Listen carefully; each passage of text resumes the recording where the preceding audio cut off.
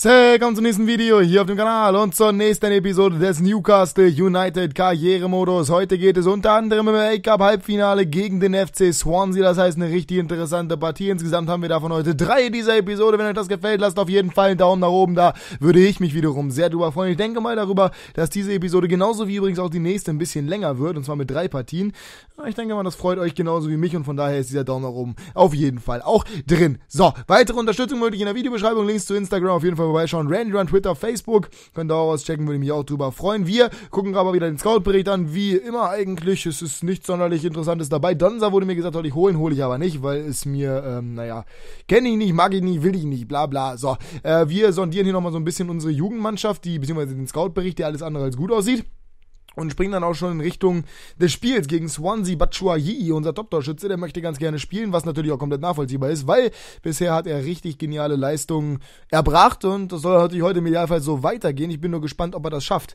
Aber wenn er es schafft, dann umso besser. So, wir ja, warten noch mal so ein bisschen ab, gucken mal im Büro, vielleicht flattert noch was rein, anscheinend ist das nicht der Fall, aber wir wollen uns ja auch nicht stressen, sondern, ich erwähne jetzt auch mal hier ganz kurz, habe ich kurz die Zeit, ähm, ja, warum kommen momentan keine Vlogs? Ganz einfach, ich finde meine SD-Karte nicht und dementsprechend kann ich momentan keine Vlogs aufnehmen, weil die SD-Karte ja quasi elementar dafür ist, Vlogs aufzunehmen. Wenn irgendwer von euch sie bei mir gesehen hat, dann äh, lasst es mich wissen, aber ich glaube eher nicht. Und ich habe keine Ahnung, wo sie ist, von daher, naja, was willst du machen? So, also, wir haben gerade eben mal wieder mit Tommy Räsänen ein neues Scouting-Netzwerk eingerichtet für drei Monate, denn wir sind ja schon quasi am Ende der Saison und dementsprechend haben wir nicht mehr so viel Zeit und nach drei Monaten haben wir dann Sommer und dann kann man ein neues machen, ne? So in sechs Monate Schritten ist, denke ich mal, gar nicht so schlecht. Ähm, ja, wir simulieren dann langsam mal weiter zum Spiel gegen Swansea, haben wir sogar schon. Müssen noch die Ausstellung machen und die ist, ja, ich sag mal, ähm, es ginge besser, weil nicht alle zur Verfügung stehen, Sissoko beispielsweise nicht, aber an sich ist die in Ordnung, ne? Wenn du da auf der Stürmerposition schon mal Batshuayi hast, wenn du da einen belgischen Nationalstürmer hast, der so gut für dich spielt, ist das ein Anfang. Und äh, wenn da Jose Perez, der ja momentan sehr, sehr gut drauf ist, auf der 10 spielen hast und dann sich relativ viel Auswechselpotenzial, weil halt alle fit sind und äh, keiner so wirklich Fitnessprobleme hat, dann ist das natürlich quasi umso besser und äh, wir müssen uns gar keine Gedanken machen. Dix kommt rein übrigens für Daryl Yammart, mit dem haben wir momentan so ein persönliches Problem. Warum werdet ihr auch die nächsten Episoden mal wieder sehen. Der hat ja schon zuletzt richtig scheiße gespielt. Ich mag den ja persönlich, ehrlich gesagt, im Karrieremodus nie. Ähm, Mal sehen, wie er sich jetzt so verkaufen wird in diesen paar Spielen. Aber momentan steht er bei mir auf absteigenden Ast. Muss ich jetzt beweisen. Ich wünsche euch viel Spaß und wir sehen uns dann, ja, gleich wieder hoffentlich im Finale. Newcastle United traf im Wembley Stadium auf Swansea City. Die Swans also gegen die Magpies, die Schwäne gegen die Eltern, die Waliser gegen die Männer aus dem Nordosten Englands, das heißt der Südwesten gegen den Nordosten. Komplette Gegensätze heute und genauso war die Ausgangssituation. Swansea als klarer Außenseiter hier im Wembley am Start, obwohl die Zuschauerverteilung 50-50 war. Ja, war das alles andere als souverän, wie sie sich bisher ermogelt hatten und zwar mit einem 1 0 gegen Sheffield Wednesday.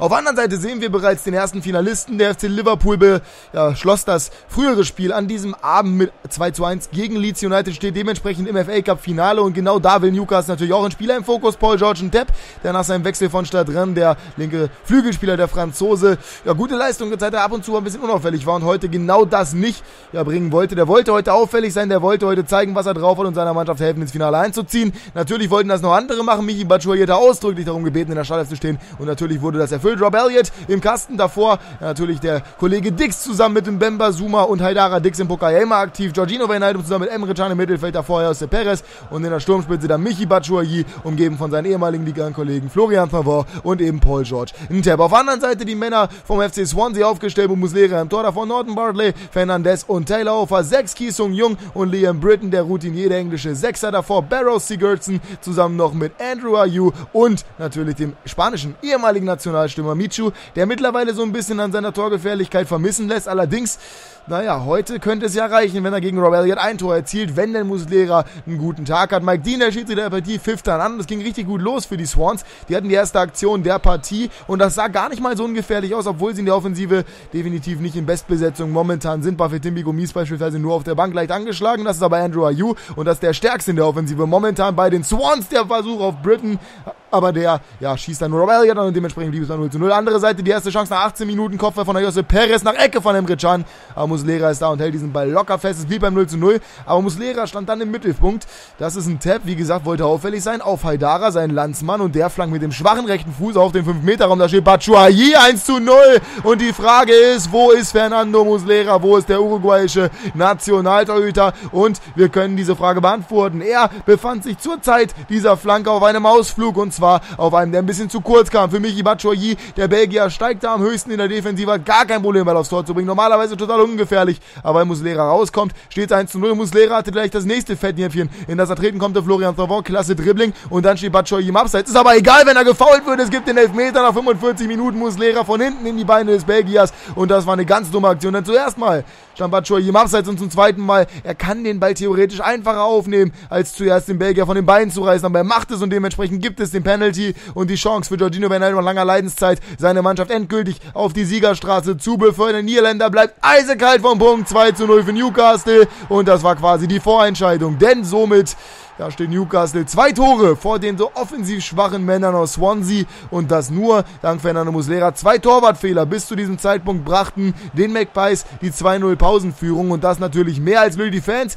Dem war es vollkommen egal, denn momentan sieht es so aus, als ob man ins Wembley fahren würde und als ob man tatsächlich ins Finale gegen den FC Liverpool antreten dürfte. Die sind übrigens in der Liga der nächste Gegner.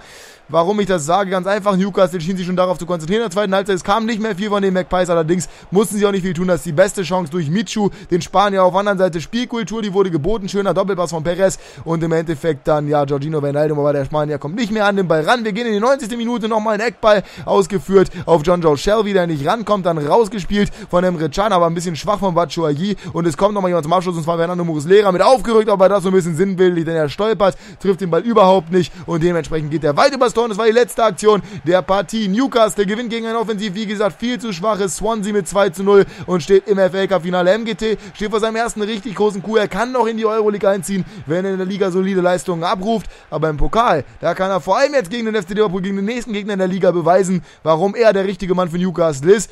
Ja, die McPies stehen im Finale, die Swans scheiden relativ sang- und klanglos aus. Natürlich bitter für die mitgereisten Fans, bitterer Tag vor allem für Fernando Muslera. Er ermöglicht Newcastle United den 2 0 Sieg. Damit stehen die im Finale und Swansea ist raus.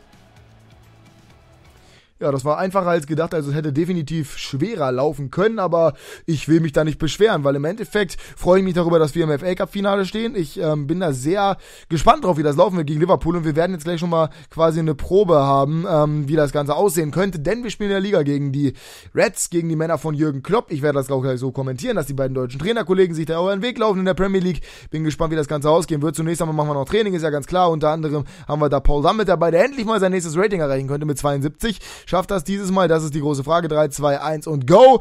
Nein, denn es wird alles C, abgesehen von Perez. Der will nochmal ein D raushauen und dementsprechend haben wir hier solide Trainingsleistung, aber nichts zu Großes. So, wie gesagt, wir spielen gegen FC Liverpool, haben ein bisschen Regenerationszeit. Zum Glück haben wir nicht unter der Woche gespielt, sondern am Wochenende, was ja in England so üblich ist, dass der Pokal ja, ab einem gewissen Zeitpunkt nur noch am Wochenende stattfindet und äh, konnten dementsprechend ein bisschen regenerieren, hatten ja die Möglichkeit, wieder mit Batshuayi zu spielen und ich bin gespannt, wie das gleich funktionieren wird. Wieder in der Sturmspitze zusammen mit seinen beiden Kompagnons. Das ist die große Frage, die ich mir jetzt stelle. Ich bin gespannt. Wir haben auf jeden Fall wieder Scout-Berichte, gucken uns die an, unter anderem Wendell, aber da war nichts Interessantes großartig dabei. Wir, ja genau, auf die Pressekonferenz, loben unsere Mannschaft und motivieren die so ein bisschen für den nächsten Kracher. Wie gesagt, es ist der FC Liverpool, es ist kein einfacher Gegner, es ist unser Pokalfinalgegner, aber momentane Realität läuft es bei denen nicht so gut, denn Jürgen Klopp hat zwar die ersten Spiele gut beschritten, mittlerweile aber, naja, ich meine, gut, Benteke hat ein paar Mal getroffen, aber beispielsweise gegen West Ham sah eigentlich schon ganz schön alt aus, dank Andy Carroll. Und äh, wer war denn der andere Torschütze? Ich komme gerade gar nicht drauf. War es Antonio? Es war, glaube ich, Antonio. Und äh, wir haben ja theoretisch auch so einen kopfballstarken Spieler davon wie Mitrovic, ne? Oder beziehungsweise, ja, Batshuayi ist auch kopfballstark. Und wir haben auch einen schnellen, bulligen Flügelstürmer mit ähm, dem Kollegen Tepp. Der ist nicht so bullig wie ein Antonio. Das geht, glaube ich, auch gar nicht, weil da ist er echt ein richtiges Monster.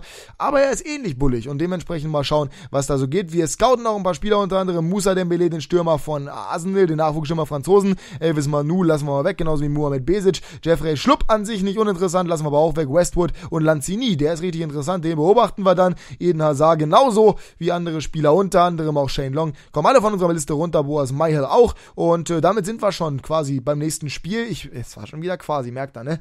Kurz nochmal geschaut auf den äh, italienischen Scout-Bericht, da gab es noch nichts Neues. Und jetzt haben wir viel Interesse an Gouffran. Das ist gut für uns, denn somit heißt das ähm, im Endeffekt, dass Das sage ich auch oft, ne? Im Endeffekt und quasi. Damit habe ich es gerade irgendwie. Ich weiß nicht, was da los ist. Egal, damit haben wir die Möglichkeit. Habe ich vergessen, was ich sagen wollte. Weil ich so sehr auf quasi und im Endeffekt geachtet habe. Naja.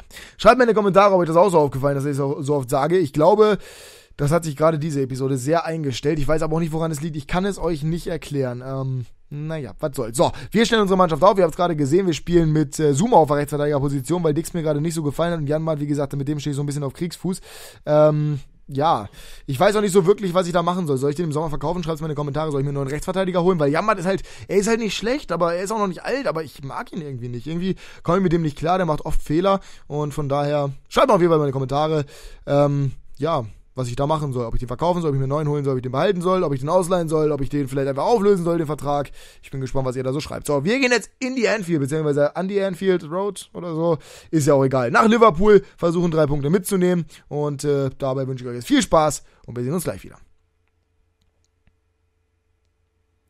Newcastle zu Gast an der Anfield Road beim FC Liverpool. Das vorgezogene Pokalfinale in der Premier League ausgetragen und Newcastle brauchte einen Sieg, wenn sie die Euroleague-Chancen direkt über die Liga wahren wollten. Denn momentan stehen sie noch vor den Spurs, aber die Männer aus Tottenham, die Männer aus Nord-London, die versuchen verzweifelt ranzukommen, beziehungsweise, naja, sind schon auf einem richtig guten Weg. Liverpool hingegen, naja, im Pokal läuft es richtig gut, in der Liga richtig schlecht. Momentan Tabellenplatz 16 für die Reds, trainiert von Jürgen Klopp. Es war also auch ein deutsches Trainerduell zwischen zwischen MGT und dem ehemaligen Dortmunder, dem Pöhler, dem Mann vom Borsigplatz, der seine Mannschaft hier heute mit der absoluten AF aufstellte. Ob das reicht für die momentane AF der Magpies, das müssen wir noch abwarten. Wir haben auf jeden Fall drei sehr bullige Spieler, die wir hier schon sehen, zusammen noch mit Haidara, das ist die Defensivreihe und die stellen wir Ihnen gleich vor. Zunächst einmal Liverpool im Tor mit Bogdan, davor John Flanagan, Martin Skripel, Dejan Lovren und Alberto Moreno auf Doppel 6, ja, beziehungsweise Triple 6 haben wir heute Lukas Lever am weitesten zurückgezogen, dann James Milner und Jordan Henderson und vorne Adam Lalana auf rechts, links die Vok Origi und in der Sturmspitze Daniel Sturridge. Auf einer Seite sehen wir einen dieser ja, defensiven vier hier schon mit Kurt Zuma. Der stand heute auf Rechtsverteidigerposition für Dix und Jamat die beiden überzeugen konnten im Training. Royal weiter im Tor für Tim Krüll, der im Wettskandal verwickelt ist. Mbemba, Pogba, Haidara dann ja, die Komplettierung der Defensive. Wijnaldum, Chan, Armstrong und in der Sturmspitze Thorvan, Mitrovic und Paul George und Depp. Die komplettierten den Kader. Das ist an sich gerade in der Defensive alles sehr, sehr dunkel aufgestellt. Allerdings auch sehr, sehr bullig und sehr, sehr körperstark. Gerade ja, Kurt Zuma, Mbemba und natürlich auch Florentin Pogba sind da absolute Monster. Haidara hat auch einen guten Körperbau, nicht ganz so bullig, aber auch der ist nicht zu unterschätzen für einen Außenverteidiger. Das heißt, es würde schwer werden für die doch etwas schnellere und nicht so körperlich starke Offensive der Männer aus Liverpool. Die Fans, You'll Never Walk Alone, unterstützen ihre Mannschaft natürlich trotzdem. Wir springen rein in die Partie und ich kann schon mal vorwegnehmen, es ging relativ stürmisch los hier, allerdings nur von den Windgeschwindigkeiten, denn es war ein richtig stürmischer Frühlingstag, der die beiden Mannschaften hier erwartete. Wir springen in die erste Szene der Partie und die gab es auf Seiten von Newcastle. Das ist ein Einwurf von Paul George Tepp auf Massimo Haidara, der mit der Flanke in die Mitte. Adam Armstrong kommt nicht an den Ball, weil er ihm weggeluchst wird von Florian Thorvant, der da aufs Tor köpft. Fast die Riesenchance für Newcastle, so blieb es dann 0 zu 0. Dann kam wieder Thorvant nach vorne mit der Flanke. Erster Pfosten Mitrovic, klasse Parade von Bogdan und der reißt den Ball nochmal raus. Es war ohnehin abseits und dementsprechend wäre das 0 zu 1 sowieso wohl nicht gefallen. Trotzdem war Newcastle das bessere Team von Liverpool, war gar nichts zu sehen. Das ist der Ball von Mitrovic auf Paul George Tepp und der hat freie Bahn, kann schießen, aber direkt in die Arme von Bogdan, der Ungar, ohne große Probleme. Dann kam ja, Liverpool selber mal nach vorne mit einem Kopfball von Lukas Lever, der nicht zustande kommt. Allerdings eine Nachschusschance von Divock Origi, aber der Belgier haut den Ball über den Kasten. Das war die letzte Aktion der ersten Halbzeit. Danach kam ein anderer Belgier rein, und zwar Michi Batshuayi für Alexander Mitrovic und der hatte auch gleich seinen ersten Auftritt. Das ist Florian Thauvin in der Mitte. Da hält ja, der Batshuayi einfach mal den Skrittel weg und dementsprechend kam Thauvin abziehen, allerdings wieder genau auf Bogdan. Der hatte viel zu tun, aber wurde meistens angeschossen. Von Wijnaldum sollte das nicht passieren. Der Niederländer versucht es und der Pfosten rettet, aber dann der Ball in die Mitte nochmal ja, gespielt davon Adam Armstrong, allerdings wieder nicht drin. Dann kam Emre Can und dann war es endlich soweit. Adam Armstrong 1 zu 0, 66. Minute, die längst überfällige und hochverdiente Führung für die Magpies. Das war klasse gemacht von Emre Can, der deutsche ehemalige Schützling von Jürgen Klopp, der nach seiner Amtsantritt ja direkt den deutschen Nationalspieler verkauft hatte an Newcastle United. Der macht das hier wunderbar im Zweikampf gegen Henderson, dann spielt er souverän in den Lauf von Armstrong, der von Lovra nicht genug bebracht wird und diesmal wird Bogdan nicht angeschossen, sondern er steht ja plötzlich 0 zu 1, ging direkt weiter, Batshuayi auf Adam Armstrong und der versucht gleich nochmal, aber diesmal ist Bock dann wieder auf der Stelle. Wird mehr angeschossen, dass er da irgendwie in die Ecke springen muss, aber trotzdem natürlich eine gute Parade kann man nicht verkennen. Trotzdem gab Liverpool jetzt Newcastle ja, Raum zum Kontern, Wijnaldum mit der Balleroberung und der schickt Batshuayi. Was für eine Frage der Belgier vor dem Tor und ist eiskalt und macht das 2 zu 0, 76. Minute, die Vorentscheidung an der Anfield Road. Wenn das im Pokalfinale so läuft, haben wir eine sehr langweilige Partie. Momentan sieht das richtig gut aus für Newcastle, denn ja, das war starkes Spiel von Wijnaldum, der wunderbar in den Lauf des Belgiers spielt und der ist halt momentan eiskalt vom Tor, einen richtig guten Lauf und es ging sogar noch weiter. Wir springen in die 90. Minute, da ist Batshuayi hier nochmal aus der Distanz, allerdings scheiterte da ein Bogdan, der den Ball noch zur Ecke abwehrt. Das war wieder eine Riesenchance für die McPies, es blieb aber somit beim 0 zu 2, Ecke von Chan, Kopfball von Perez, 3 zu 0, so schnell kann es gehen, die Ecke ist dann doch drin, 85. Minute, nicht 90. sondern 85. und der Spanier mit dem Kopfballtor, normalerweise nicht seine ja, beste Disziplin, aber hier locker eingeköpft, Bogdan macht wieder einen Ausflug, keiner weiß wirklich wohin, Moreno kommt nicht mehr dran, versucht er mit einer spektakulären Fluganlage noch das Schlimmste zu verhindern, aber das Schlimmste tritt ein und dementsprechend steht es 0 zu 3 und das war die letzte Aktion der Partie, Newcastle gewinnt an der Anfield Road mit 0 zu 3, das vorgezogene Pokalfinale also klar entschieden, Wijnaldum und Co. machten einen richtig guten Eindruck, die mitgereisten Fans waren zufrieden. Und Jürgen Klopp sagte nach der Partie, wenn sie so spielen würden im Pokalfinale, bräuchten sie auch gar nicht antreten, denn das heute absolut gar nichts vom FC Liverpool. José Perez erfolgreich, genauso wie Michi Batshuayi. Die beiden sind momentan absolutes Traumduo da vorne drin. Newcastle gewinnt mit 3 zu 0 gegen Liverpool und hat beste Chancen auf die Euroleague. Ja, beste Chancen auf Euroleague. Ich hoffe, das haben wir wirklich. Das Problem bei der ganzen Geschichte ist halt, ähm, ja, Guckt mal die Spurs an. Die stehen, glaube ich, einen Punkt hinter uns oder so. Und das ist alles andere als gut. Wir müssen jetzt gegen Swansea ran. Gegen die haben wir gerade im Pokal gewonnen. 2-0. Da waren sie sehr unauffällig offensiv.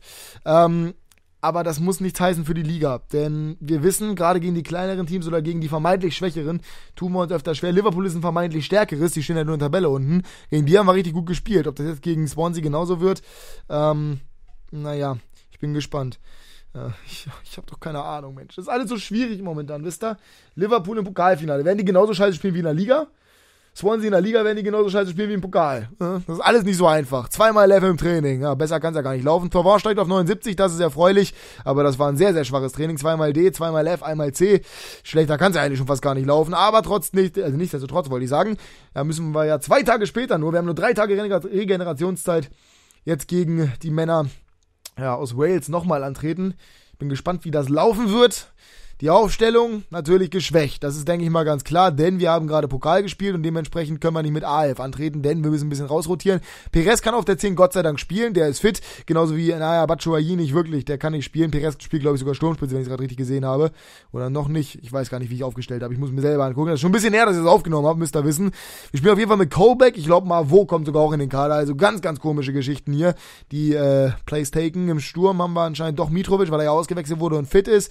Auf der 10 7 de Jong auf der linken Seite, Rolando Aarons auf der rechten Seite, haben wir Gouffran, der auch mal wieder spielt, rechte Verteidigung Dix und dann Innenverteidigung, ja, wen lasse ich da eigentlich spielen? Das ist eine gute Frage. Vernon Anita kommt auch mal wieder auf die Bank an, auf der Innenverteidigung stehen anscheinend Chancellor Mbemba und Florentin Pogba.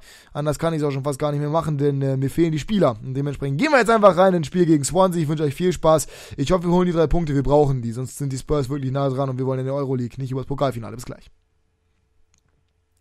Der St. James's Park ausverkauft, 2030, beste Atmosphäre für ein sehr wichtiges Spiel für die Magpies gegen den ehemaligen Pokalgegner, gegen die Swans aus Wales, gegen Swansea City. Das natürlich jetzt prädestiniert, ein richtig interessantes Spiel zu werden, denn natürlich wollten die Swans Rache für das Pokal-Halbfinale, in dem sie keine Chance hatten und mit 0 zu 2 kläglich untergingen. Momentan Tabellenplatz 9, 13 Punkte Rückstand, aber sie können trotzdem die Magpies ärgern, die dann momentan punktgleich mit Tottenham Hotspurs und mit einem Sieg ja, wären sie zumindest wieder drei Punkte davor, mit einem Unentschieden nur einen Punkt und mit, ähm, ja, mit einer Niederlage stellen sie plötzlich punktgleich da und die haben noch schwere Spiele in den letzten Wochen der Showdown am letzten Spieltag gegen die Spurs selber wird hoffentlich mit einer besseren Aufstellung bei Newcastle ja quasi passieren. Elliott, Dixon, Bemba, Pogba, Dame, T. Colbeck, De Jong, Gouffran, Mitrovic, Rolando Aarons. Das ist eine absolute B11. Wir haben nur ganz wenige Spieler, die momentan in der AF sind. Da sind unter anderem zur Überraschung vieler Rob Elliott, Überraschung vieler Rob Elliott und Chancellor Bemba. Auf der anderen Seite Swansea City ja wieder mit Muslera im Tor, Angel Rangel, Williams, Amat und Tabanu in der Innenverteidigung bzw. Außenverteidigung. Komplett andere Verteidigung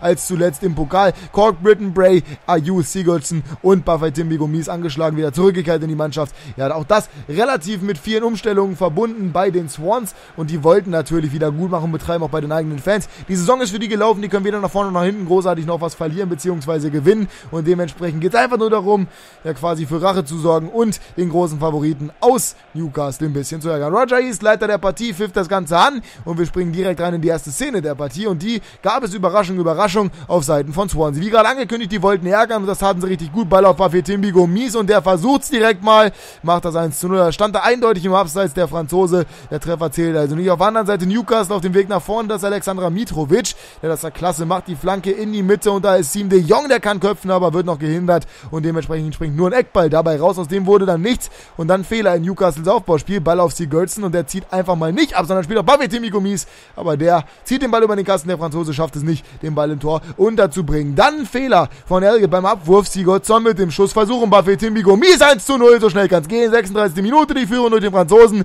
gegen die McPies und das war alles andere als gut von Rob Elliott. Der Abwurf ein bisschen zu kurz. Natürlich ist das schon schlecht verteidigt, aber auch schlecht die Abwehr direkt nach vorne in die Mitte. Ist klar, dass einer bei Gummis stehen muss. Steht aber keiner da und dementsprechend hat der Franzose kein Problem, den Ball mit seinem Kopf ins Tor zu befördern. Da ärgert sich Chancellor Memmer, da ärgert sich die komplette Verteidigung von Newcastle, aber solche Fehler können halt auch mal Rob Elliott passieren und nicht nur eine Defensivabteilung der McPies, wo es normalerweise hapert. Hier nochmal sehen wir, wunderbare Ballannahme, dann der Klassepass nochmal zurück von Gummis, der die Übersicht bewahrt und im Endeffekt kann Dix da nicht mehr gegen den Franzosen machen. Aber Newcastle kam direkt zurück, die versuchten direkt zu antworten. Sieben de Jong mit dem Ball auf Alexander Mitrovic und der macht sofort das 1 zu 1, 42. Minute. Ganz, ganz schnell war Newcastle wieder da. Klasse Abschluss des Serben, der hier sofort, aber wirklich auch sofort das 1 zu 1. Mahmoud Lehrer sieht da auch wieder nicht allzu gut aus im Pokal mit seinen zwei Fehlern. Hat er den Weg geebnet für den Pokaleinzug der McPies und hier kommt er ein bisschen zu spät gegen den Serben, kommt raus aus seinem Tor, hätte er vielleicht nicht machen müssen, aber so steht es 1 zu 1. Zweite Halbzeit, die Swans weiter auf dem Vormarsch, machten das gut. Das ist die Götze mit einem Versuch, aber wieder ja, ist Rob Elliott da und hält den Ball. Der Seasländer ist relativ sicher. Andere Seite, die McPies, es war ein offener Schlagabtausch. 7 de Jong mit dem Ball auf Mitrovic und der versucht es aus der Drehung mit links. Schöner Versuch, aber knapp über die Latte muss Lehrer, muss nicht eingreifen. Nach 70 Minuten stand es weiterhin 1 zu 1. Es passierte nicht mehr viel, denn jetzt spielte Swansea auf Zeit. Die wollten zumindest das Unentschieden rauskitzeln, spielten viel hinten rum und dementsprechend passierte wirklich absolut nichts mehr. Das war es auch schon von der Partie. 1 zu 1 zwischen den Swans und den McPies. Das heißt, die Rache zumindest halb geglückt, denn Swansea ja, stibitzt so. Newcastle zwei Punkte. Die haben jetzt nur noch einen Punkt Vorsprung vor den Spurs. Es wird richtig eng, es wird dramatisch die letzten Spieltage. Schaffen die McPies den direkten Einzug in die Europa League oder ja, muss dann tatsächlich der DFB-Pokal, der DFB-Pokal, der FA Cup herhalten für die ja, Männer aus dem Nordosten Englands, um irgendwie ins internationale Geschäft zu kommen. Wir dürfen gespannt bleiben. Für den Moment ja, trennen sich Swans, die Swansea Cities und Newcastle United mit 1 zu 1 in den Champions League. Changes Park, Changes Park. Bisschen genuschelt am Ende, aber so ist das, wenn man 20 Minuten durchlabert, ist das alles nicht so einfach mit dem trockenen Hals. Naja, was soll's. Wir spielen nächste Episode gegen Crystal Palace unter anderem, das wird auch keine einfache Aufgabe und wir spielen zudem, glaube ich, noch gegen Aston Villa. Das heißt, zwei Teams, die nicht so groß sind, aber die auf jeden Fall gefährlich sein können. Ich bin gespannt, wie das Ganze laufen wird. Wenn euch diese Episode hier gefallen hat mit den drei Spielen vor allem, lasst auf jeden Fall einen Daumen nach oben, da ihr wisst, wie sehr ich mich darüber freue. Wir sehen uns, wie gesagt, beim nächsten Mal wieder. Da gibt's dann sehr interessante Spiele, loben unsere Mannschaft jetzt im Voraus schon mal für die Partie gegen die Männer, die momentan von Alan Pardew trainiert werden. Smack My Bitch Up Bonus für Crystal Palace oder für mich. Schreibt mir in die Kommentare. Wir sehen uns beim nächsten Mal wieder. Ich wünsche euch noch einen wunder, wunder, wunder, wunder, wunderschönen Tag. Bis dann. Haut rein. Und ciao.